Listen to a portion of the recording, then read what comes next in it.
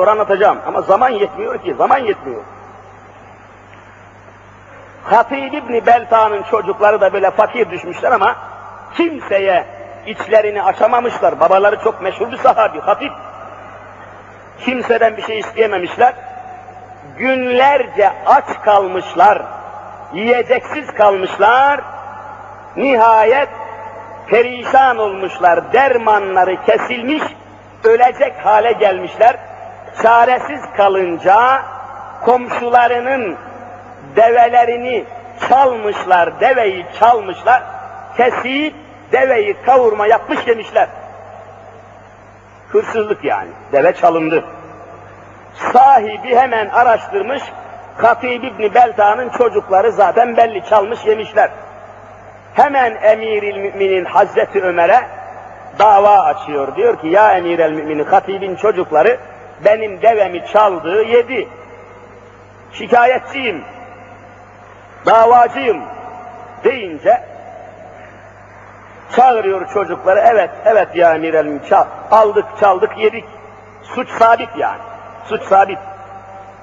Hemen onların cezalandırılmasını emrediyor. Ellerinin kesilmesini emrediyor Hazreti Ömer.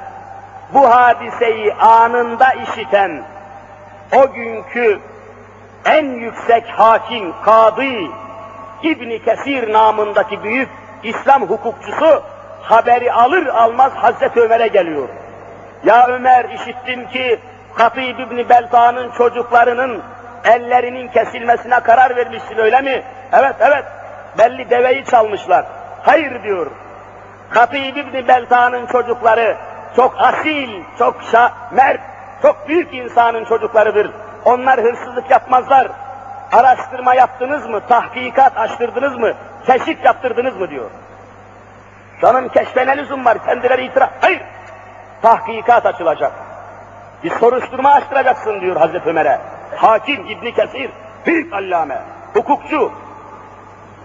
Bir araştırma yapılıyor, komşulardan soruluyor ki, beş günden beri, on günden beri çocukların evine bir leblebi, bir lokma ekmek girmemiş.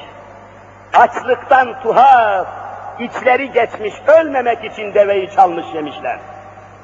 Mesele anlaşınca İbni Kesir diyor ki ya Ömer bu keşfi ve bu soruşturmayı yapmadan onların ellerini kestirseydin kısasa kısas olarak vallahi ben de sen elini kestirecektim diyor. Ceza veremezsiniz.